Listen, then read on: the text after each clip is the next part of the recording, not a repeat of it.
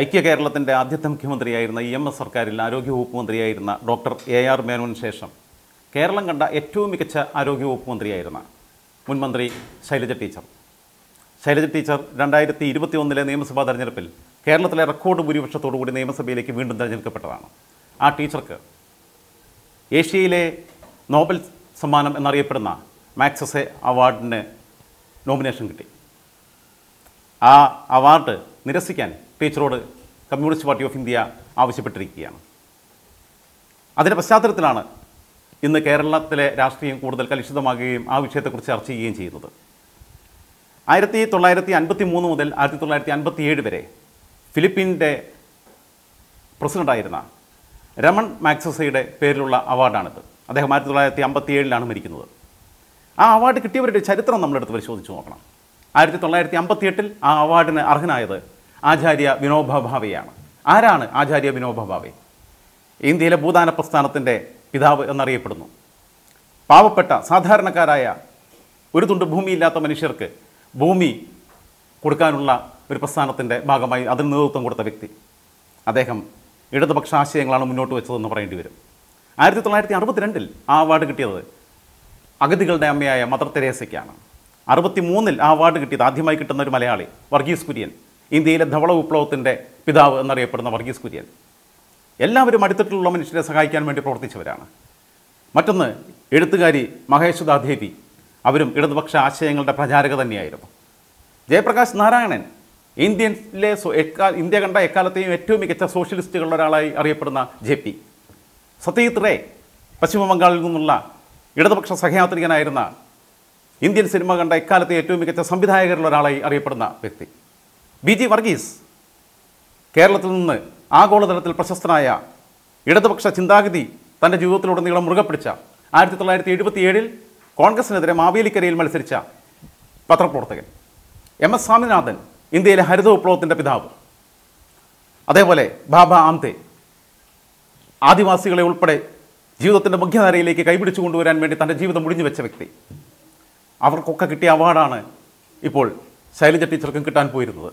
അതാണ് നിരസിക്കാൻ ഇവർ പറഞ്ഞത്. എന്ത് അടിസ്ഥാനത്തിൽ എന്ത് ലോജിക്കിന്റെ അടിസ്ഥാനത്തിൽ എന്ത് യുക്തിബോധത്തിന്റെ അടിസ്ഥാനത്തിലാണ് ഇവർ ഈ അവാർഡ് നിരസിക്കാൻ പറഞ്ഞത്? പിണറായിയാണ് ഈ പാർട്ടിയെ നിയന്ത്രിക്കുന്നതെന്ന് ഒരിക്കൽ കൂടി തെളിയിക്കുകയാണ്. പിണറായി എന്ന ഒരൊറ്റ വ്യക്തിയുടെ ആവശ്യമായിരുന്നു ശൈലജ ടീച്ചർ ആ അവാർഡ് മേടിക്കരുത് എന്നത്.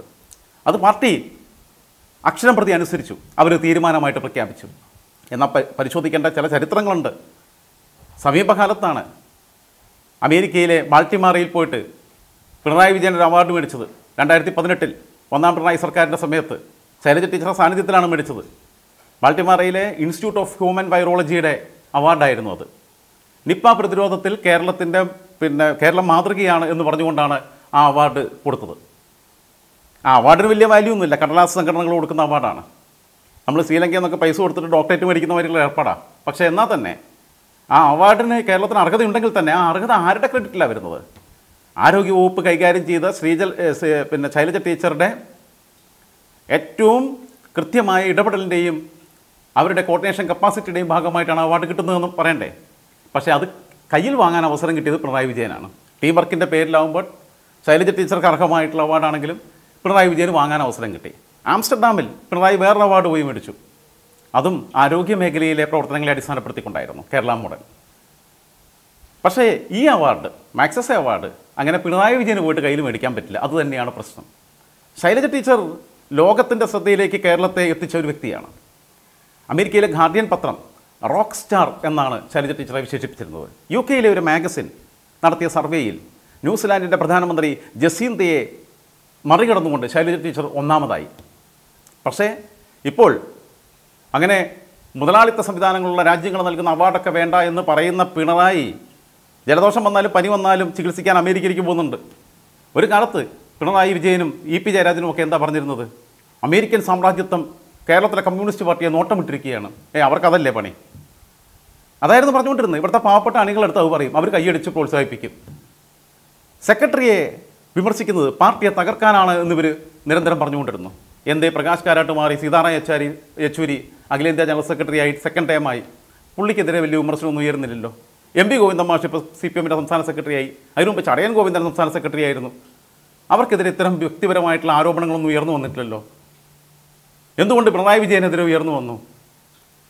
അതിന് പിന്നിൽ കാരണമുണ്ടായിരുന്നു. തനിക്കെതിരെ ആരോപണങ്ങൾ വരുമ്പോൾ ഇത്തരം ചില പ്രത്യയശാസ്ത്ര അടവുകൾ പയറ്റിക്കൊണ്ട് അണികളെ വെഡ്ഡികളാക്കി മുന്നോട്ട് പോവുകയാണ് ചെയ്തിരുന്നത്. അങ്ങനെ അമേരിക്കൻ സാമ്രാജ്യത്വത്തിന്റെ ഇന്ന് ലോകത്തുള്ള ഏറ്റവും വലിയ ശത്രു ഇങ്ങേരാണെന്നുണ്ടെങ്കിൽ ഇവർ ഈ ശത്രുക്കളെയൊക്കെ എങ്ങനെ തീർക്കണം എന്നവർക്ക് കൃത്യമായിട്ട് അറിയാലോ അവരുടെ ശത്രുക്കളെ അവർ ടാർഗറ്റ് ചെയ്യാറുണ്ട്. അവർ താമസിക്കുന്ന രാജ്യത്ത് എത്ര ദൂരെയാണെങ്കിലും ഉപഭൂഖണ്ഡങ്ങൾക്കപ്പുറം പോയിട്ട് അവർ ആ കണക്ക് വിട്ടാറുണ്ട്. അതിനുള്ള കെൽപ്പുള്ള രാജ്യമാണ് അവർ ഈ പിണറായി വിജയനെ ഇവരെ ഏറ്റവും വലിയ പ്രഖ്യാപിത ശത്രുവാണെന്നുണ്ടെങ്കിൽ ഇയാൾ അവിടെ പോയിട്ട് ചികിത്സിക്കുമ്പോൾ ഇവർക്ക് കൈകാര്യം ചെയ്തുകൂടെ? രമൺ മാക്സസെ എന്ന് പറയുന്ന ഫിലിപ്പീൻസിന്റെ ആയിരത്തി തൊള്ളായിരത്തി അമ്പത്തേഴിൽ വിമാനാപകടത്തിൽ അന്തരിച്ച അദ്ദേഹത്തിന്റെ പേരിലുള്ള അവാർഡാണ് ഇതെന്ന് പറഞ്ഞു. മാക്സസെ കമ്മ്യൂണിസ്റ്റുകാരെ കൊന്നൊടുക്കി എന്നാണ് ഇപ്പം സി പി എമ്മിന്റെ ഗവേഷണ വിദഗ്ധന്മാർ കണ്ടെത്തിയിരിക്കുന്നത് ശാസ്ത്രജ്ഞന്മാർ അദ്ദേഹം കൊന്നൊടുക്കിയത് ഇവിടുത്തെ പല കമ്മ്യൂണിസ്റ്റ് പ്രവർത്തനം നടത്തുന്ന അല്ലെങ്കിൽ ഇ എം എസിനെ പോലെയും എ കെ ജിയെ പോലെയും അടിത്തട്ടിൽ പ്രവർത്തിച്ച അവിടുത്തെ നേതാക്കന്മാരെയൊന്നുമല്ല. ഗറില്ല ആക്രമണത്തിന് കുപ്രസിദ്ധി ആർജിച്ച കൊലപാതക രാഷ്ട്രീയത്തിന്റെ വക്താക്കളായ ആളുകളെയാണ് അവർ പ്രതിരോധിച്ചത്. അത് കേരളത്തിലും ചെയ്യുന്നില്ലേ? ഇന്ത്യയിൽ ചെയ്യുന്നില്ലേ? ശ്രീമാൻ പിണറായി വിജയൻ അവിടുത്തെ ഗറില്ലാക്രമത്തെ പിന്നെ ഗറില്ലകളെ ആക്രമിച്ചു അവരെ കൊലപ്പെടുത്തി എന്നതിന്റെ പേരിൽ മാക്സസയുടെ പേരിലുള്ള അവാർഡ് വേണ്ട എന്ന് പാർട്ടിയെ കൊണ്ട് തീരുമാനമെടുപ്പിക്കുമ്പോൾ നാം പരിശോധിക്കേണ്ട മറ്റൊരു വിഷയമുണ്ട്. അതേ രീതിയിലുള്ള മാവോയിസ്റ്റുകളെ കേരളത്തിൽ പിണറായി വിജയൻ മുഖ്യമന്ത്രിയായിരിക്കുമ്പോഴാണ് നിർദ്ധയം പിടിവെച്ചു വന്നത്. കീഴടക്കാൻ കീഴടക്കിയെടുക്കുകയല്ല പിടിക്കുകയല്ല ചെയ്തത്. കൊന്നുകളഞ്ഞു. എന്തിനേറെ? പുസ്തകം വായിച്ചതിന്റെ പേരിലാണ് അലനും താഹിയും എന്ന് പറയുന്ന രണ്ട് ചെറുപ്പക്കാരെ കൗമാരപ്രായം മാ ജസ്റ്റ് വിട്ട് യുവത്വത്തിലേക്ക് കാലെടുത്ത് കുത്തുന്ന രണ്ട് ചെറുപ്പക്കാരെ പിടിച്ച് അകത്തിട്ടത് പൂർണവും കാണിക്കാത്ത മാതിരിയുള്ള കുറ്റപത്രം തയ്യാറാക്കിക്കൊണ്ട്. സാമൂഹ്യ മാധ്യമങ്ങളിലൊക്കെ ചെല്ലു പറയുന്നുണ്ട് ഇത് ഹിമാലയൻ ബ്ലണ്ടറാണ് എന്ന്. പണ്ട് പ്രധാനമന്ത്രി സ്ഥാനം ജ്യോതി ബസു ഏറ്റെടുക്കണ്ട എന്ന് പറഞ്ഞതിന്റെ തുടർച്ചയാണ് ഈ തീരുമാനമെന്ന് വിഡ്ഢിത്തരമാണെന്ന്. ഇത് ഹിമാലയൻ ബ്ലണ്ടറും വിഡ്ഢിത്തരമൊന്നുമല്ല. മറ്റുള്ളവർ വിഡ്ഢിത്തരം കാണിക്കുന്നുണ്ടായിരിക്കാം പക്ഷേ പിണറായി വിഡ്ഢിത്തരമല്ല കാണിച്ചത്. അയാളുടെ കുരുട്ട് ബുദ്ധിയുടെ പ്രതിഫലനമാണിത്. പിണറായിയുടെ ഉദ്ദേശം ഒന്ന് മാത്രമാണ്. തനിക്ക് ശേഷം തന്റെ മരുമകനെ പിൻഗാമിയാക്കണം. കോൺഗ്രസിനെ സ്വന്തം മകനെ വളർത്തിക്കൊണ്ടുവന്ന് എങ്ങനെയാണോ സോണിയാഗാന്ധി പിന്നെ നശിപ്പിക്കാൻ ശ്രമിച്ചത്? അതേപോലെ തന്നെ സ്വന്തം മരുമകനെ മുഖ്യമന്ത്രിയാക്കുക എന്നൊരൊറ്റ ഉദ്ദേശം മാത്രമേ ഉള്ളൂ അടുത്ത് വരുന്ന നിയമസഭാ തെരഞ്ഞെടുപ്പിൽ പിണറായി വിജയന്. അല്ലെങ്കിൽ ഇടക്കാലത്ത് വെച്ച് അദ്ദേഹം സ്ഥാനമൊഴിയുകയാണെങ്കിൽ. അങ്ങനെ മുഖ്യമന്ത്രി കസേരയിലേക്ക് മകനുള്ള യാത്രയുടെ വഴി സുഗമമാക്കുക എന്നതാണ് ഇദ്ദേഹത്തിന്റെ ഉദ്ദേശം. അതിനു വേണ്ടിയിട്ടാണ് ഇപ്പോൾ ടീച്ചറെ വിട്ടുന്നത്. കാരണം ടീച്ചർ തടസ്സമാണ്. ടീച്ചർ വിഘാതമാണ്. കാരണം ടീച്ചർ കേരളത്തിന്റെ മനസ്സ് കീഴടക്കിയ ഒരാളാണ് നേരത്തെ നമ്മൾ പറഞ്ഞു രണ്ടായിരത്തി ഇരുപത്തി ഒന്നിലെ നിയമസഭാ തെരഞ്ഞെടുപ്പിൽ ചരിത്ര വിജയമാണ് അവർ നേടിയത്. കേരളത്തിന്റെ എക്കാലത്തെയും ഏറ്റവും വലിയ റെക്കോർഡ് ഭൂരിപക്ഷത്തിനാണ് തിരഞ്ഞെടുക്കപ്പെട്ടത്. അതായത് കക്ഷി രാഷ്ട്രീയത്തിന് ജാതി മത ചിന്താഗതികൾക്ക് അതീതമായി മലയാളികളുടെ മൊത്തം ടീച്ചറമ്മയായി മാറാൻ അവർക്ക് കഴിഞ്ഞിരുന്നു. അവരെ രണ്ടാമത്തെ മന്ത്രിസഭയിൽ അവർ പിന്നെ ഉണ്ടാവുമെന്നെല്ലാവരും പ്രതീക്ഷിച്ചു. മന്ത്രിസഭയിൽ ശൈലജ ടീച്ചർക്ക് ഇടം കിട്ടാത്തതിനെ തുടർന്ന് മലയാളികൾക്ക് മൊത്തത്തിൽ ഒരു മിസ്സിംഗ് ഫീൽ ഉണ്ട് അക്കാര്യത്തിൽ രണ്ടാം തവണ അധികാരം കിട്ടാൻ ഇടയായത് എങ്ങനെയാണ് ഇയാളുടെ ഗ്ലാമർ കണ്ടിട്ടോ ഇയാളുടെ അഹങ്കാരം കണ്ടിട്ടോ ദാർഷ്ട്യം കണ്ടിട്ടോ ആരെങ്കിലും വോട്ട് ചെയ്തതാണെന്ന് കരുതിയോ? അല്ല. ശൈലജ ടീച്ചർ എന്ന് പറയുന്ന ഒരു ഐക്കൺ ശൈലജ ടീച്ചർ മുഖ്യമന്ത്രിയാവുമെന്ന പ്രതീക്ഷ. കാരണഭൂതനല്ല. ശരിക്കും ഇതിന്റെ എല്ലാം കേന്ദ്ര ബിന്ദു എന്ന് പറയുന്നത് ശൈലജ ടീച്ചറായിരുന്നു ഒരു യഥാർത്ഥ സഖാവ്.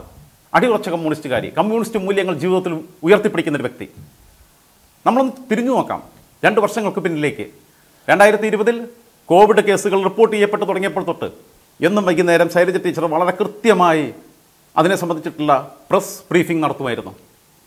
പക്ഷേ അതിലൂടെ അവരുടെ ഇമേജ് വർദ്ധിക്കുന്നു. അവർ കാര്യങ്ങൾ കൃത്യമായി കൈകാര്യം ചെയ്യുന്നു എന്ന് കണ്ടപ്പോൾ തനിക്ക് അപ്പുറ അപ്പുറത്തേക്ക് വളരുന്നു എന്ന് കണ്ടപ്പോൾ ഒരു സുപ്രഭാതത്തിൽ പിണറായി വിജയൻ വൈകുന്നേരം ആറു മണിയായപ്പോൾ ശൈലജ ടീച്ചർ മൈക്കിങ് തട്ടിപ്പിടിച്ചു.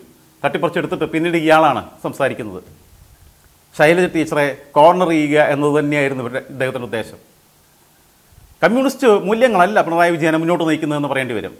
സ്വന്തം മകളോടുള്ള ആ പുത്രി സ്നേഹത്താൽ അന്ധത ബാധിച്ച ഒരു രാഷ്ട്രീയ നേതാവായി പിണറായി വിജയൻ എന്ന കണ്ണൂർക്കാരൻ മാറിക്കഴിഞ്ഞിരിക്കുന്നു. പണ്ടൊരിക്കൽ പിണറായി വിജയൻ പറഞ്ഞിട്ടുണ്ട് വി എസിനെ കുറിച്ച്. വി എസിന്റെ ജനപ്രീതി വർദ്ധിച്ച സമയത്ത് സ്വർണം കായ്ക്കുന്ന മരമായാലും സ്വന്തം പുര പുരയ്ക്ക് മേലെ ചാഞ്ഞു നിന്നാൽ ആ മരം വെട്ടിക്കളയണമെന്ന്. പക്ഷേ അന്ന് അങ്ങനെ വി എസിനെ കുറിച്ച്. അതായത് വി എസ് പാർട്ടിയേക്കാൾ വളരുന്നു. അതുകൊണ്ട് വി എസ് എന്ന ആ മഹാവൃക്ഷത്തെ വെട്ടിമുറിച്ച് കളയണമെന്ന് പരോക്ഷമായി സൂചിപ്പിച്ച പിണറായി വിജയൻ പിന്നീട് എന്താ ചെയ്തത്? സ്വന്തം ഫ്ലക്സ് നാട്ടിൽ മുഴുവൻ വെച്ചിട്ട് ആത്മരതി അണയുന്ന ഒരു മാനസിക വൈകൃതത്തിന് അടിമയായിട്ട് അദ്ദേഹം മാറി എന്നാണ് പൊതുവിലുള്ളൊരു വിലയിരുത്തൽ. അദ്ദേഹം വ്യക്തിപൂജയെക്കുറിച്ച് വല്ലാതെ സംസാരിച്ചിരുന്നു. വി എസിനെ കുറിച്ച് പറഞ്ഞപ്പോൾ തന്നെ അന്ന് പറയുമായിരുന്നു. പിന്നീട് ജയരാജനെക്കുറിച്ച് വന്നപ്പോഴും ജയരാജനെ അവിടെയുള്ള കണ്ണൂരുള്ള സഖാക്കൾ വ്യക്തിപൂജ നടത്തുന്നു. അങ്ങനെ ജയരാജനെ മൂലയ്ക്കാക്കാൻ നോക്കി. പക്ഷേ ഇങ്ങനെക്കുറിച്ച് കാരണബോധൻ എന്ന് പറഞ്ഞിട്ട് മെഗാ തിരുവാതിര നടത്താൻ ക്യാപ്റ്റൻ എന്ന് വിളിക്കുക അത് വ്യക്തിപൂജയുടെ പരിധിയിൽ പെടില്ല എന്നെ നിങ്ങൾ പുകഴ്ത്തിക്കോളൂ. എന്നെ അല്ലാതെ വേറൊരു ദൈവത്തെ നിങ്ങൾ പൂജിക്കേണ്ട എന്ന് പറയുന്നത്. സ്വയം ദൈവമായിട്ട് അവതരിക്കുക. ശൈലജ ടീച്ചർ സി പി എമ്മിന്റെ കേന്ദ്ര കമ്മിറ്റി അംഗമാണ്. അതിനർത്ഥം കേന്ദ്ര കമ്മിറ്റി അംഗമായ ശൈലജ ടീച്ചർ ലോകത്തിന്റെ മുമ്പിൽ ആദരിക്കപ്പെടുന്നതിലൂടെ ഈ അവാർഡിന് അർഹയാവുന്നതിലൂടെ communist party of India Marxist അല്ലേ അംഗീകരിക്കപ്പെടുന്നത്? അവർക്ക് കിട്ടുന്ന ആദരവായിട്ട് എടുക്കണ്ടേ? കേരളത്തിന്റെ ഒരു മുൻ മന്ത്രിക്ക് കിട്ടുന്ന അംഗീകാരം കേരളത്തിന്റെ നിലവിലുള്ള എം എൽ എക്ക് കിട്ടുന്ന അംഗീകാരം കേരളത്തിലെ മുതിർന്ന രാഷ്ട്രീയ നേതാവിന് കിട്ടുന്ന അംഗീകാരം അത് മൊത്തം മലയാളികൾക്കുള്ളതല്ലേ? രാജ്യത്തിനുള്ള അംഗീകാരമല്ലേ? അവിടെയാണ് ഇത്തരം അന്തർദേശീയ അംഗീകാരങ്ങളിലൂടെ കേരള മോഡൽ സമൂഹത്തിന് മുമ്പിൽ അംഗീകരിക്കപ്പെടുകയാണെന്ന തിരിച്ചറിവല്ലേ ഇവർക്ക് വേണ്ടത്? എന്തേ ആ കാര്യത്തിൽ ഇവർ കൃത്യമായിട്ടുള്ള നിലപാടെടുക്കാത്തത്? ഓരോ വിഷയങ്ങൾക്കകത്തും പിണറായി എടുക്കുന്ന നിലപാട് തന്നെയല്ലേ? ഇത് ടൂറിസം മേഖലയെ പോലും വളരെ ഗൗരവമായിട്ട് പിന്നെ സ്വാധീനിക്കാൻ ഒരു കാര്യമായിരുന്നില്ലേ? കാരണം ശൈലജ ടീച്ചറിലൂടെ ലോകം വീണ്ടും കേരളത്തെ അറിയുകയാണ്. കേരളത്തിൽ എന്തോ മാജിക്ക് സംഭവിച്ചു.